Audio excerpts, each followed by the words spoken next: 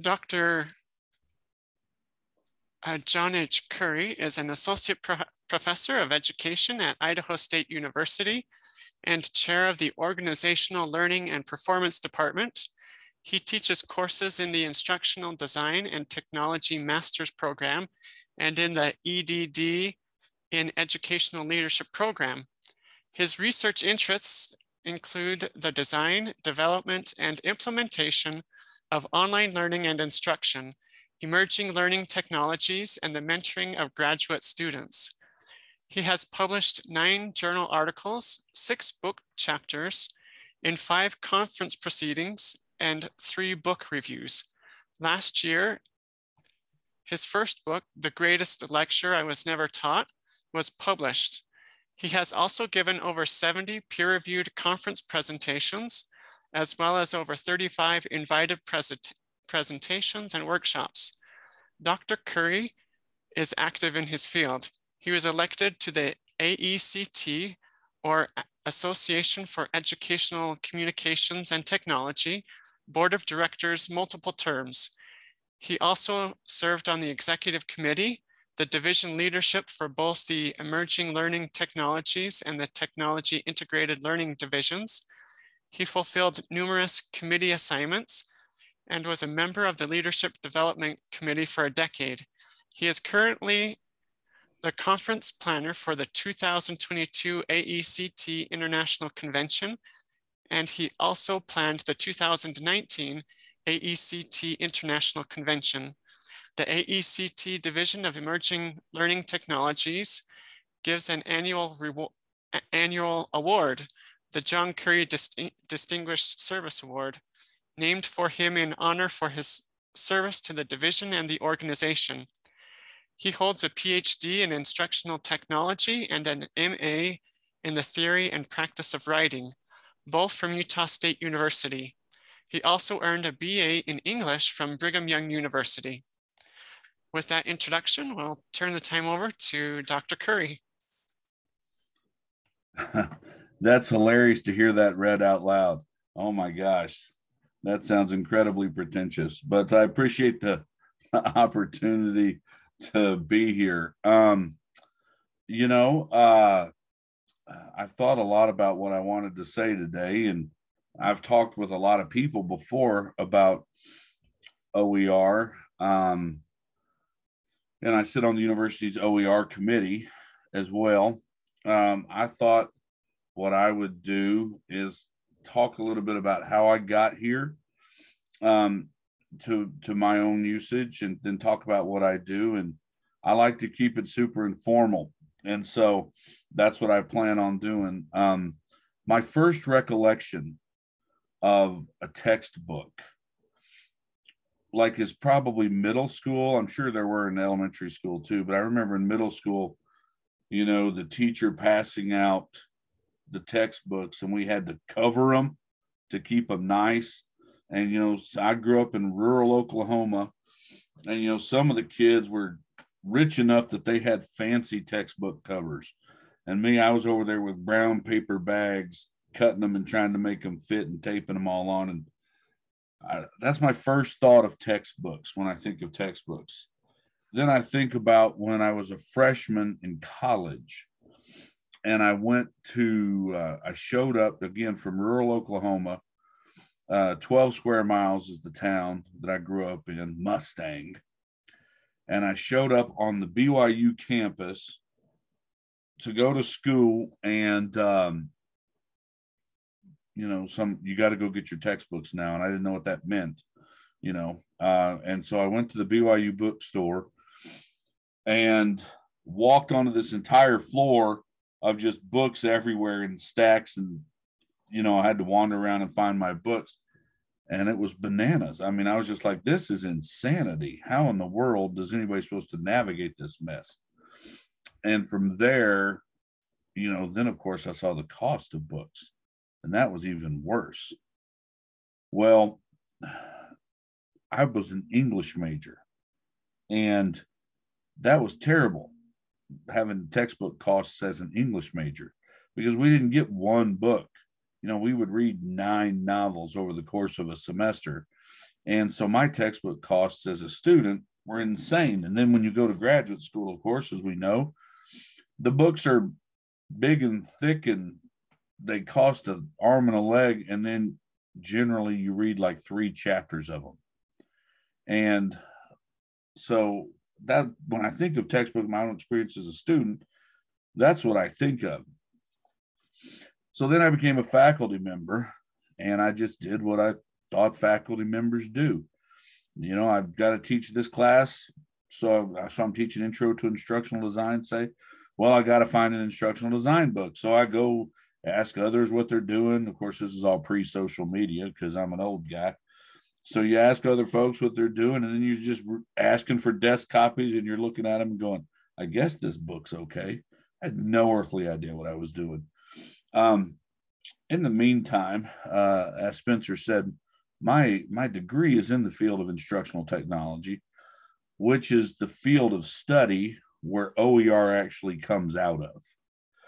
And um, the kind of OER guy, the guy who is Mr. OER is a fellow by the name of David Wiley. And David and I have known each other since we were graduate students. I was at Utah State, he was at BYU. So David and I have been good friends for about oh, coming up on 25 years. And uh, as a matter of fact, he's the one that I'm planning this year's conference with. Um, but I, I talked to David o, on and off over the years about OER because he was just preaching the gospel of OER, and I would listen to him and I'd tune him out because he'd go, "Oh, you got to do, tune him out," because that's all I ever heard from him, and we'd go to conferences, and that's what he wanted to talk about.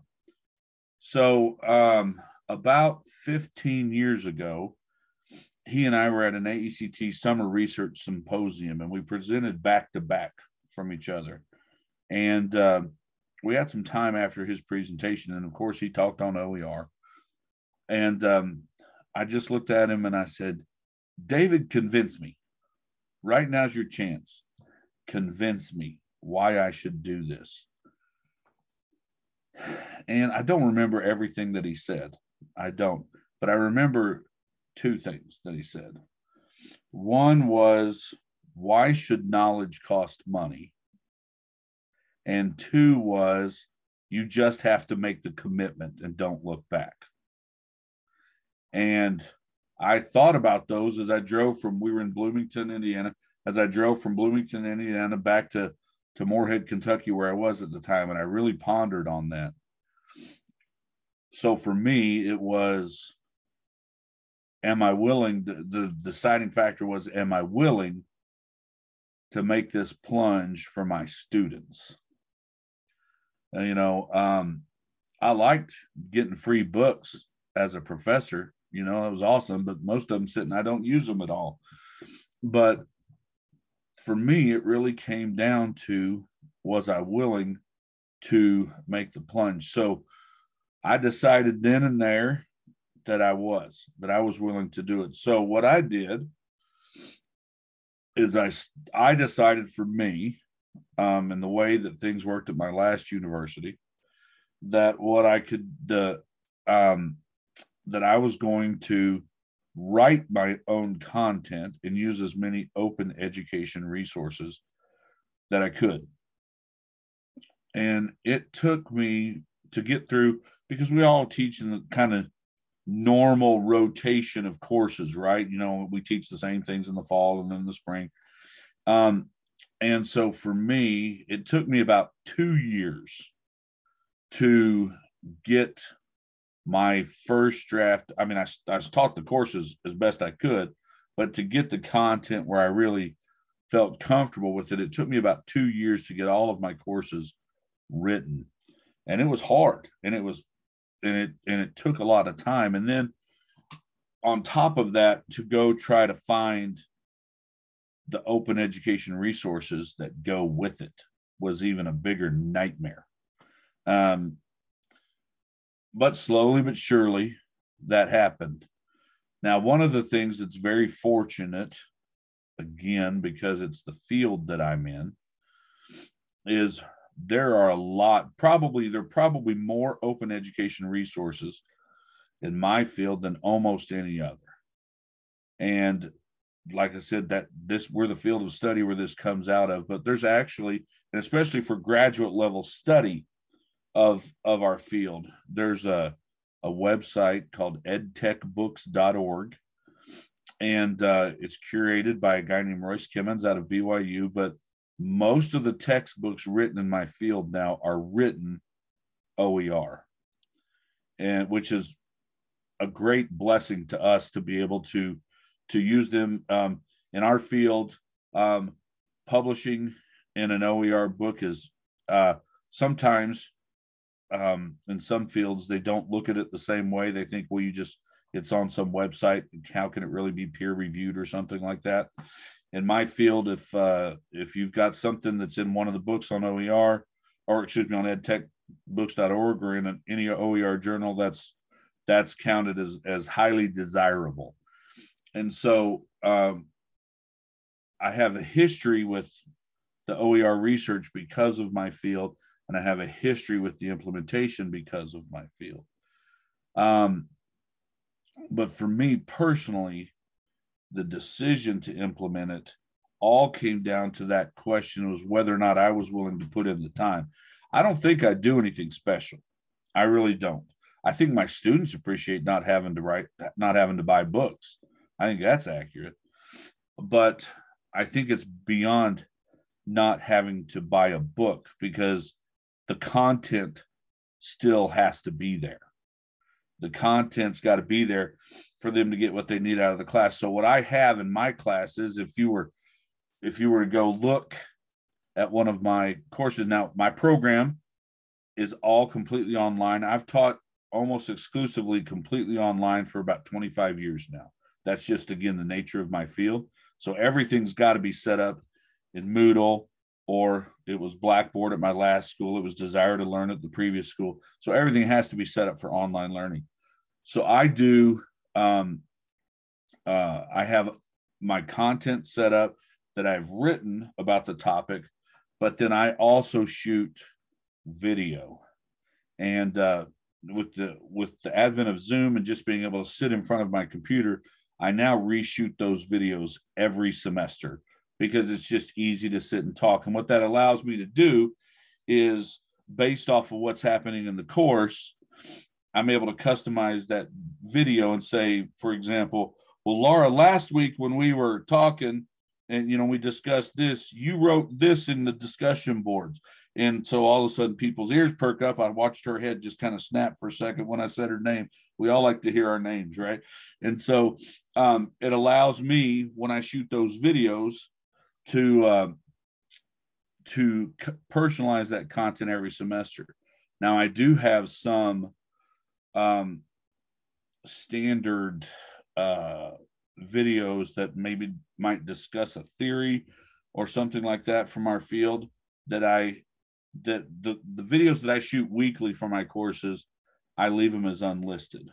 But my standard theory, you know, things that I use every semester that that people might need, I have those open and available on YouTube, and people can get them from my channel anytime that they want.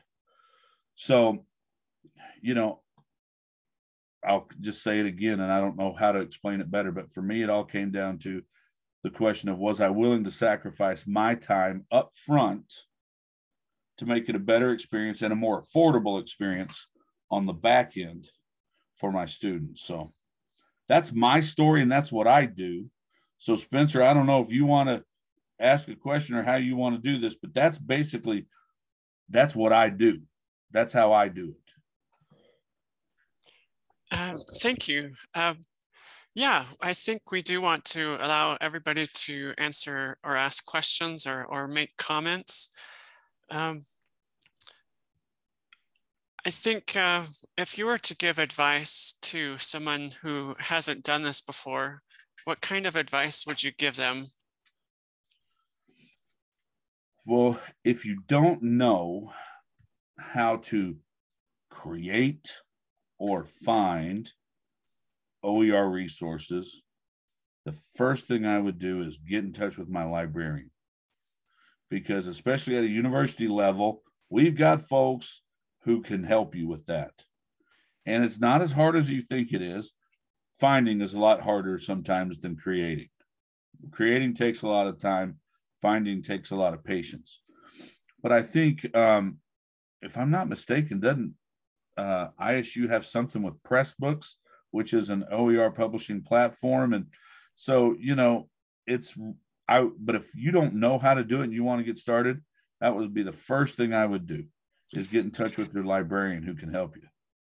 Yeah, that uh, you're absolutely right. Uh, ISU does have uh, a license for Pressbooks, and it's it's a platform that allows anyone to write their own open education uh, material, and they can designate how they want to share that and to what degree, and with that license, then they can share it with their students, so their students have access to the material as well. Um, yeah, and uh, the, the library does have an open and affordable educational resources committee. And so our job is to help faculty uh, and instructors who want to search for that open education uh, material and we can help you find stuff. So uh, thank you, Laura. We've got uh, some links there to our OER uh, subject guide and links to the Pressbooks. Um, so um, I want to allow everybody an opportunity to ask questions. To, are there others here that, that have questions they would like to ask? You can unmute yourself now and So uh, Teresa asks a question in the chat. Um, now that the courses are set up and the OER texts created, how does your prep and grade time compare to before you used OER? How has the experience of creating your own texts changed you as an instructor? Are you a better researcher for it? Uh, those are three separate questions. So. All right. So, full disclosure, she's currently one of my students. So, she's oh. Setting me up here. She's liking grilling me now. I'm just saying, Teresa. um, my prep time is less now um, because I reuse most of the content year by year. I have to go change dates, but Moodle's got a thing that'll kind of do that for you. Um, my videos are different, you know, year to year as I feel like the need to update them. Um, I have to, for myself, be very careful to try to go through and check everything and make sure the links all work because um, I can't let myself get lazy with it because my prep time is different. So I, I would say my prep time is different, Teresa. Um, the experience of creating my own texts changed me as an instructor. Well, I actually prefer it now because I always felt guilty when we bought textbooks before and I didn't have people read the whole thing. I like it because I control the content much more. So, you know, and and I can use the examples that I want to use. So, in a fully online program, you know, we don't ever get to see each other face to face. If I'm in a face to face classroom, I can tell my story and I can use my examples, but the textbooks don't have those. And so I like it. I like creating it because I put my examples into the content of the course um, and it makes it more personal for me as an instructor. And I think it helps my students get to know me a little bit better in this online environment, in this virtual classroom. And I don't know if I'm a better researcher for it, uh, to be honest with you. Um, I think what it does is it makes me more aware of my student experience. I had a I had a, a technical writing teacher when I was a student at Ricks College, years back named Rod Keller, who would give us a, a writing prompt every day. And when we would sit and write, he would sit and write. And I remember asking him once, um, uh, What are you doing? And he said, Why would I ever give you something to do that I wouldn't be willing to do myself? And so he was sitting and, and writing with us. And he followed that up with, I don't ever want to forget what it's like to be a student. And that struck me. And so I think it makes me a more conscientious teacher for what I'm trying to I'm trying to give you better content because I don't give I don't throw as much at you as you'd get in a thick textbook, but I try to make sure that what I do give you is better. And so I think it's made me a better instructor. Um, my grading practices, I'm always slow grader, Teresa, and you know it. So. Uh, as a follow-up question to that, uh, it, it, sounds like, or maybe this is a comment, it, it, it sounds like uh, developing the OER materials allows you to match your teaching style with the materials at hand and you don't have to adapt your teaching style to someone else's uh, writing or structure in a textbook or something. Would you say I, that's I think, accurate or? I would, th- I would, in my case, I think that's accurate. I'm very much um, a storyteller when I teach. Um, I'm not a lecturer. And I think a lot of times a textbook is a written lecture. And um, my my courses don't read like textbooks. It's a series of stories with content thrown in. And so that's much more how I teach a face to face class anyway. And so, yeah, in this, in, at least in my case, it does allow me to match the content to my style. Okay. Um, a, a, question that occurs to me now is, uh, uh, do you ever uh, use uh, library resources um, like for reserve or do you go and find an article and put it in your Moodle course that you found on the library system or is that something you've um, ever done? I, I have done it before, but as I said, my field is really transitioned in the last four years to where the vast majority of things are done OER all of the textbooks are written in OER and they're all and we're able to pull whatever chapters we want out of whatever books and plug that stuff in and so I haven't had to do a lot of that. Um, also in our professional organization in AECT, um, which a lot of our graduate students join, um, when you join AECT, you get access to all the journals and so we don't have to do a lot of that because our field is set up for OER. So we're really fortunate that way. Wow, that sounds really nice. What other questions do, do our participants have? Is, does anyone want, want to unmute themselves and ask a question or, or make a comment? Spencer, you know I always have questions. Oh, please do. Hello, John. Nice to meet you. My name is Laura. Hello. remember Laura, the librarian, LL. So easy. But um, I'm digging into OER. Uh, my interest peaked last year with our first OER um, week that we did at ISU. And I had heard about it, but there were Kristen Whitman, and I'm not sure Spencer, if you helped build the LibGuide, but she was really gave us a lot of great content and training. So it's been Kristen's awesome, by the way. Yeah, she's so good.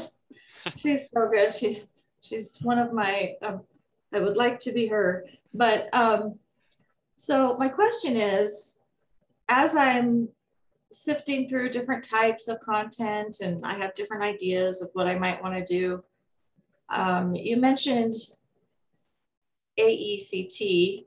Um, first of all, what does that stand for? And second, what are your um, what are the platforms that you like best? Like, where are you finding your best content? Is it OpenStax? Um, is it with other people in your field that you are working with? So word of mouth.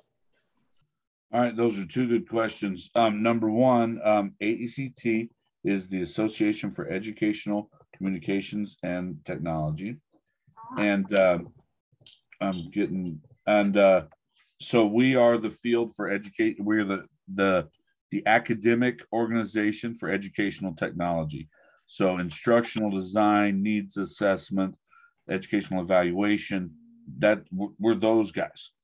Um, and uh, uh, and as far as where we get our stuff, I'm going to put a link up here for you uh, Laura, to add to your to your ex- exploration, edtechbooks.org. And uh, as I said, everything in my in our field right now is is now going to there. And uh, so I'm at the front page right now. There's and the books that are shown, the highest rated books they have on here are Advanced Writing, Writing in the Social Sciences, Distance Education, and Blended Learning Handbook, Educational Research Across Multiple Paradigms, Digital Tools and Apps, the K 12 Educational Technology Handbook, Designing Surveys, and Designing for Learning. And, they, and then they also have, we have one of our major um, journals in the field also uh, just moved to being published on edtechbooks.org as well. So it went fully OER, and which is awesome. And uh, um, so in, in, in the field, um, this is where everything is going. I don't have to do a whole lot of search because everybody is making everything open right now in my field, which is really, really fortunate. Um, now, you know as well as I do that not every field lends itself to OER, right? I don't know how I'm going to, how I would teach dance OER, right? You could create videos and share those, but you, but I, I use that as an example because it's an extreme one, right? But I can tell you this I know OpenStax, I know CK12, right? CK12 in the P12 environment is huge one of my former doctoral students, who is an OER researcher, her name is Heather Morin.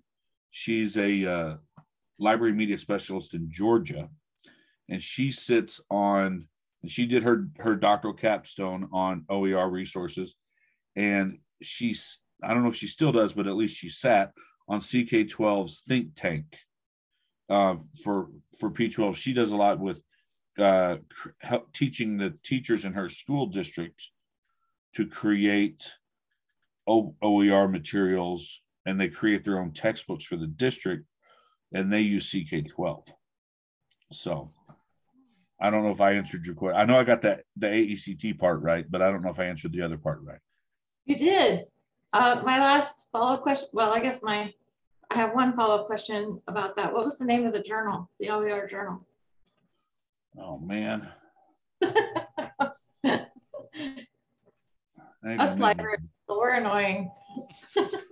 no, I got it. I got it. oh, I know how I can look it up. Give me two seconds. Because it's Jill Stefaniak, the editor. I just can't remember. I get a, a couple of them mixed up.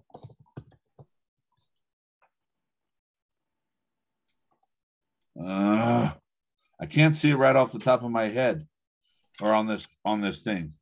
Okay. That looks right. Yeah, Jade. Yeah. Thanks, Teresa. Journal of Applied Instructional Design. Is that the one that Jill edits? Teresa? That's it. Yep. Then that's it. Journal of Applied Instructional Design. Well, great. Hey, thank you, everybody. And thank you, Dr. Curry, for uh, presenting and talking to us uh, about your OER experiences it's uh, pretty exciting for, for me to participate in these uh, presentations just to hear um, what inspired people to get involved and, and how, how the movement seems to be going in a, a positive direction with more uh, momentum. There are more people involved, more materials. And it seems to me like even in other disciplines, uh, others are catching the the vision and and starting to do this more and more. So I, I should say that I did teach a class last year too. I forgot I forgot about this right now. I taught a class specifically just on OER last year. And I got all the materials from David Wiley, who's had licensed them all OER. So I have a ton of research that came straight from David. So if you want anything, or even if you want to get hooked up with David, I know I could hook you up with him. So that would be fantastic. Yeah, that, that sounds wonderful. Well, if there are no other questions or comments, I think we'll uh, we'll finish the the, the meeting today. And uh, thank you so much for talking with us today, Dr. Curry, and thank you for your time. And thank you everyone else for attending. Uh, we have one other presentation that is tomorrow at 10 o'clock. And I think uh, that person is Mary Von Van Donsel, I think, is it, if I get her name right. Van Donsel? Is, uh, isn't it Van Donsel? Oh, let me look if there's an A or an N. Hold on. it's tomorrow at 10. And so. Mary Van Donsel, I think. Yeah, yeah, Mary Van Donsel. Yeah, thank you, Laura. So uh, uh, be sure to attend that if that fits in your schedule. And uh, I think that would be a good presentation as well. So um, thanks again. And we'll have a, uh, we'll, we'll say goodbye and, and wish everybody to have a good day. So thank you, everybody. Thank you. See everybody.